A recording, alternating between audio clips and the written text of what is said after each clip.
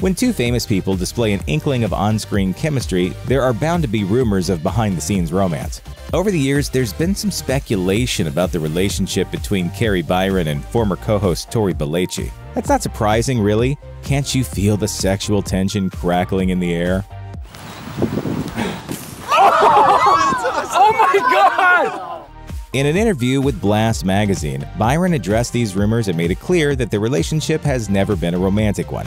Byron says Belleci is like a brother to her because they pick on each other so much.